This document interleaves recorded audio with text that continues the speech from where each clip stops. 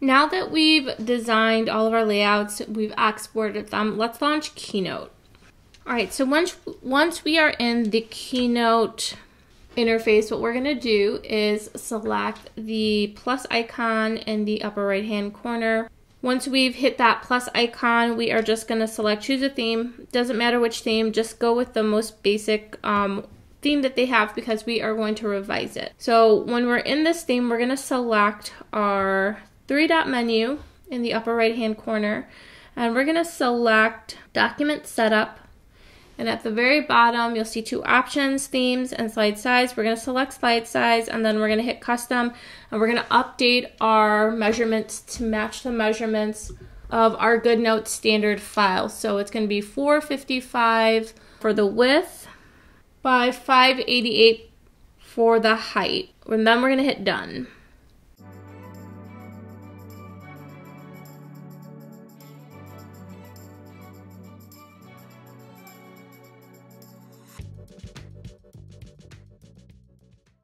Once I'm done revising the slide layout, the slide size, I can hit done. And then what we want to do is empty um, and delete everything off of this first page. So I'm going to go into my actual slide here. I'm going to tap on it on the left hand side and I'm going to select edit slide layout. And then I'm just going to use my fingers to select slides and then I'll get a pop-up and I can just hit delete to remove any of the elements that I don't want and then I can hit done. Once we've resized, what we'll want to do is add in um, additional pages so that uh, we can place all of our images that we exported from Affinity Designer into this layout. So I'm going to go into my file system um, just so that I can double check and see how many we have. So in my design, we have about 20 pages here. So I'm just gonna go back into my keynote presentation. I'm gonna tap the little plus icon on the lower left-hand side, and I'm just gonna add the same kind of title slide. And I'm gonna do this until I have 20 pages total. And then once I have 20 pages, we can begin to add our layout design on top of this. So I'm gonna go to page one, and then I'm going to go to the upper right hand corner of Keynote. I'm going to select that plus icon and I'm going to get this pop up. And what I want to select is insert from.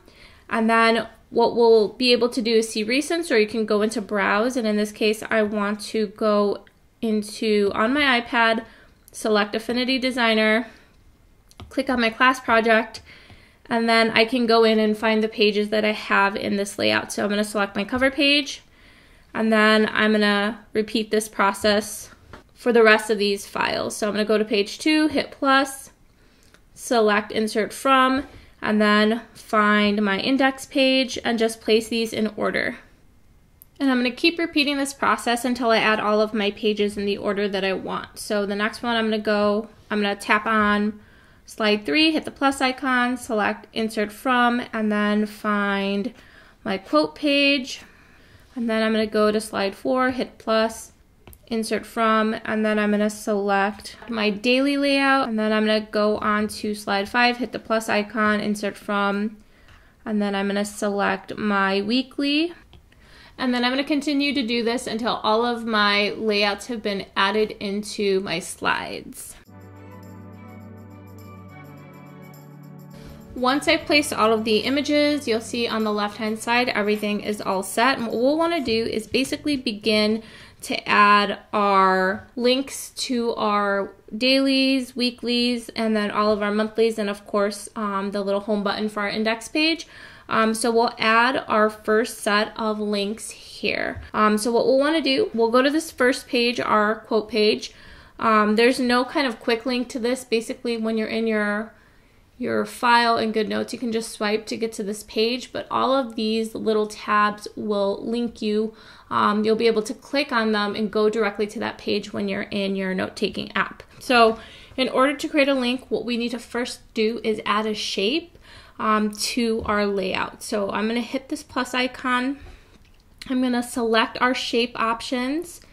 I'm going to go into our basic shapes and then I'm going to select the shape that I think best matches the shape that I currently have. So I'm going to select this rounded rectangle And then I'm just gonna resize it. I'm gonna zoom into my layout here by just using my fingers to kind of zoom in um, by pushing my fingers out and then to zoom out by pulling my fingers in. And I'm just gonna resize this so that it is approximately the size that I need it to be. It doesn't matter what color it is right now. We're just going to resize it so that it matches the overall size of the tabs that we've created.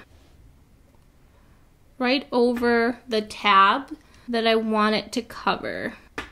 Once I've created that first one, what I can do is then go into my formatting option, that little paintbrush, and then I want it so that I have no fill. So I'm going to select style and I'm going to tap where it says fill and I'm going to select no fill and then I'll go back out of this and it will have no fill now. That way it'll be blank. And then what we want to do is tap on that and then we'll tap on it again and you'll see this little pop-up come up and you'll want to select link. And then what we'll want to do is link this to a specific slide. So we're going to select slide and then we'll want to link it to this to the third slide because that's the slide of our index page. And then we'll hit back.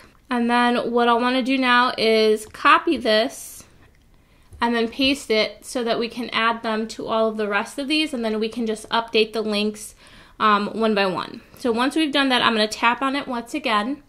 I'm going to select copy and then I'm going to tap again and I'm going to select paste. And then I'm just going to drag this over to where I need it to be. If you're noticing you're having any type of issues utilizing your Apple Pencil in Keynote, um, what you can do is go into, you can go into your three dot menu and scroll down to Apple Pencil. And what you'll want to do is select select and scroll. And this will allow you to select and use your Apple Pencils to scroll and tap on things and move things around versus writing and like using the scribble effect. Um, all right, so once we've done that, we'll tap out of this and we can go back to adding our links. You'll want to make sure that your links are sized appropriately. I'm going to select this new one. I'm going to click on copy, tap on my screen, select paste, and I'm going to continue to do that until I have 15 of these link shapes created. Once I've added all the links to the top, I'm going to rotate. I'm going to resize um, this new one so that it's more of a vertical option because I'm going to be adding the links to the sides now. And what's nice is that you only have to do this once and then you can copy all of these links and paste them onto the rest of your pages.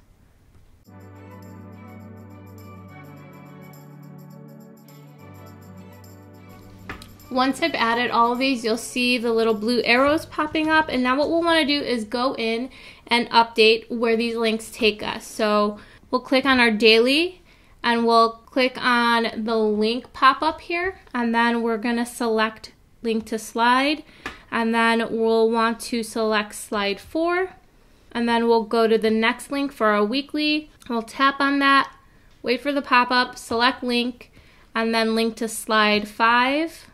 And then tap out of that, click on the next one, which is our habit tracker, select link, and then link to slide 6. And then tap out of that, click on our journal tab, select link, and then link to slide 7. And then our monthlies start on slide 8. So we'll go back to that page and then select January. We'll update the link here again, link to slide 8, and then repeat that process for the rest of the months, linking it to the appropriate slide.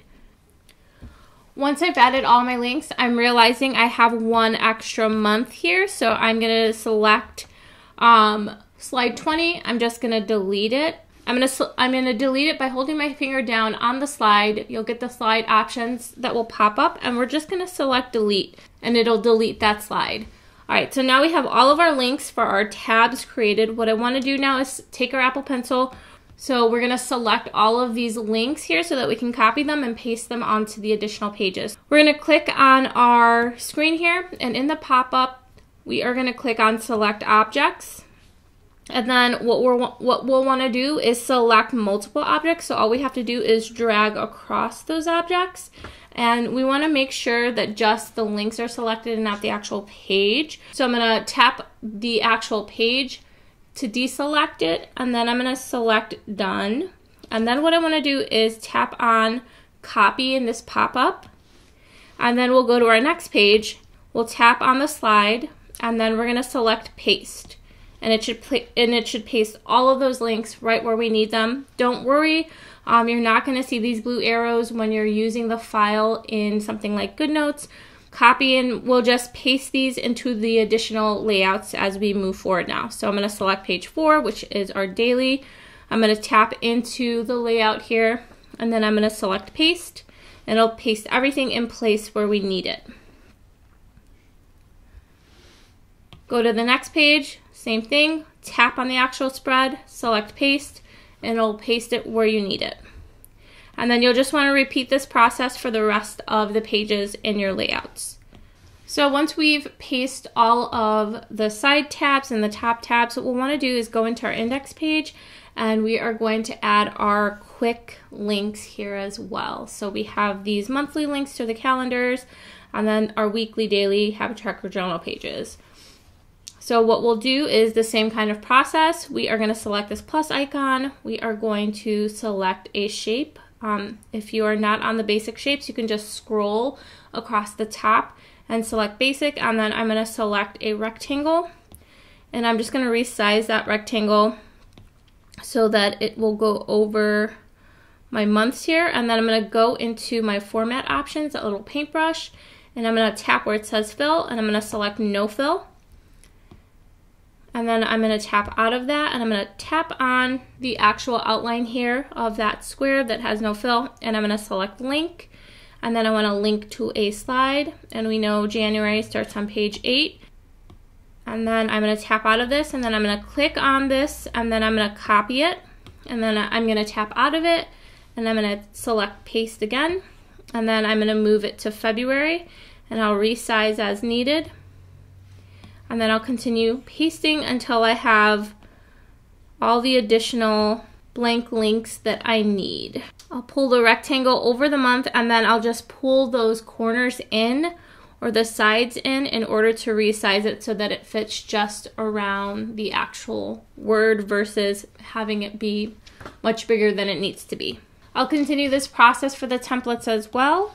Once I've pasted all the links in, I can go in and manually update it. So I'm going to select January. I'm going to click on link. I'm going to make sure I link to a slide and that'll be slide 8. I'll tap out of this, click on February, select link, link to a slide and that'll be slide 9.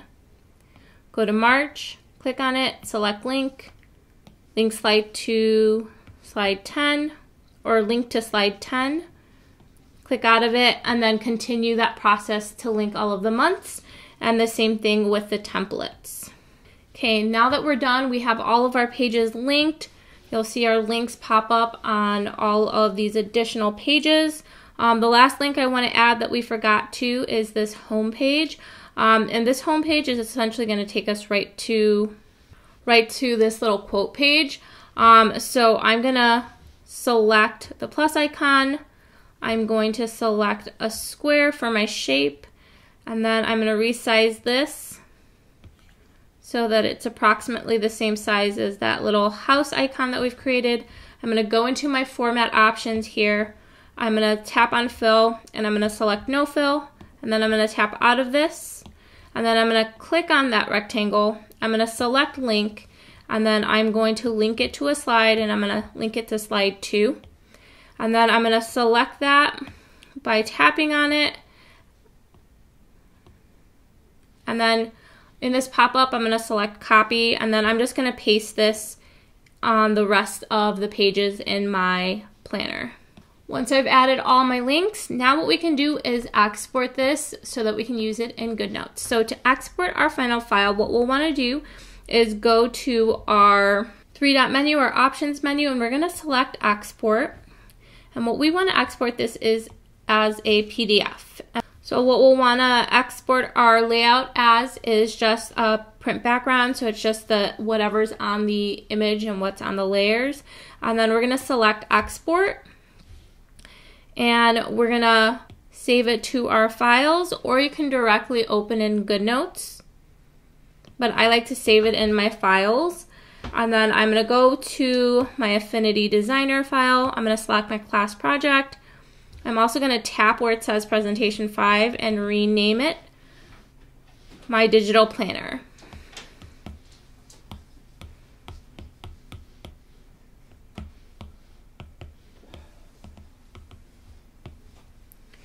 And then I'm going to make sure I select the folder I want it in, and then I'm going to click on Save. And then we can jump into GoodNotes and look at how we can utilize this planner in the app.